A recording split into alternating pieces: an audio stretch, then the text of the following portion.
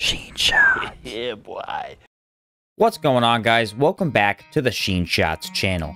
Today, we'll be taking a look at the totem workshops that were added into Outward with the Definitive Edition update. These workshops can be found in every region and allow you to build the totems called Ghost Drum and Sky Chimes.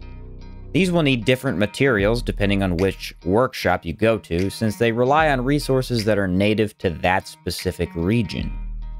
However, none of this is even possible until you go to the Primal Ritualist and learn how to craft the totems in the first place. When speaking to Sinai for the first time, he will instruct the player on how to use the workshops. Until you do that, interacting with these workshops will simply give you the following dialogue. There's a strange workshop here. If you know how to use it, perhaps you could craft something special here. So let's check out where all these workshops are at and what materials are needed at each one. Caldera. This is probably the easiest station to find as it is directly behind the Primal Ritualist over in Caldera. Head over to his hut in the middle left side of the map and bring the following materials. Ghost drums, one hexastone, one ghost's eye, two palladium scrap. Sky chimes, one peach seed, one occult remains, two palladium scrap. Abrassar. Head into the very center of the desert where you will find a giant statue near Stone Titan Caves. There's a bridge between the sandy hill, and you'll find the desert's workshop just on the other side. It's probably one of the least hidden workshops in the game, considering it's hard to hide things in a wide open desert. However, not many people need to ever come back here, so you might not have even seen it yet. Grab the following materials to create totems here. Ghost drums. 2 shark cartilage. 2 ghost eye. 2 palladium scrap. Sky chimes. 3 insect husk. 2 occult remains. 2 palladium scrap. Antique Plateau. To find this station, simply head towards the Mana Lake in the bottom left of your map and head northwest.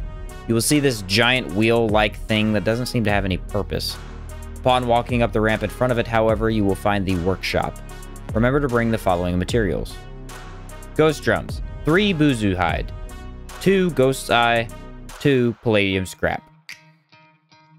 Sky chimes, 3 Beast Golem scraps, 2 Occult remains, 2 Palladium scrap.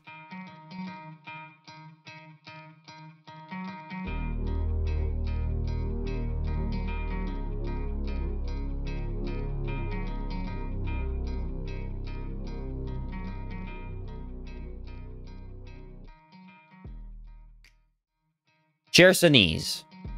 This region has a large beach that you can reach by leaving Cierzo storage to the back, or taking the long way around. After walking the full length of this beach, you will reach a large grassy area. The hill to your left here is where the station is located, and it's pretty easy to miss as this area is mostly empty. Collect the following materials. Ghost drums, 3 Hackmanite, 2 Ghost's Eye, 2 Palladium Scrap. Sky Chimes, 2 Ammolite, 2 Occult Remains, 2 Palladium Scrap.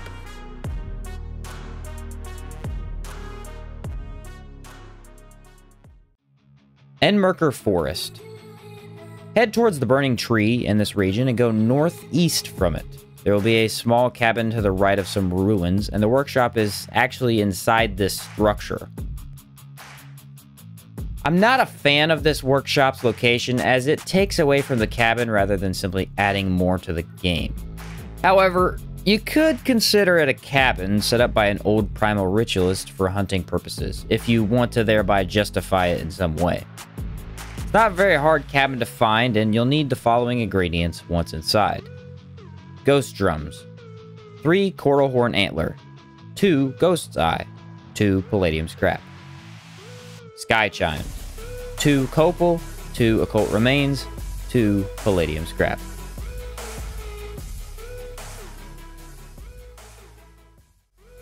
Hallowed Marsh. On the far left or west side of your map, you will see a location called Dead Roots on your map. At the northern edge of the cliff, you will find yet another workshop.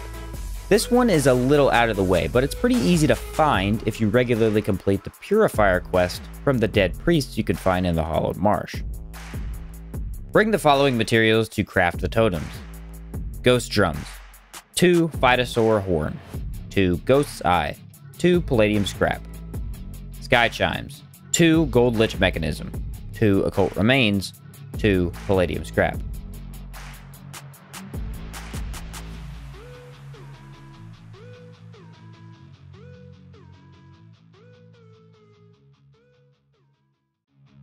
So there you have it. Every workshop location and how to actually use them. These are pretty useful for making totems if you really hated walking all the way to Caldera for the materials there. They provide you with a way to replace a totem if you happen to lose your originals. Plus, they look pretty darn cool. The carvings of creatures crawling out of each post make for epic structures to run across. I think these were a pretty cool addition to the game, as it's kind of fun to see more things from Caldera in each region. I imagine they were added because people were placing totems and then dying. Then it would be pretty annoying to run all the way back to Caldera just for two totems. Makes sense if you think about it that way, and also gives us some more info on the Primal Ritualist, as he's just kind of there without much explanation. Maybe this knowledge of workshops and mastery of totems used to be some sort of cult or religion similar to how the Cabal Hermit is the last of the Wind Followers.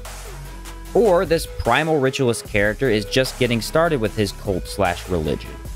It's stated that he had his followers set up the totem workshops in each region, so it could be that he's just kind of getting this going.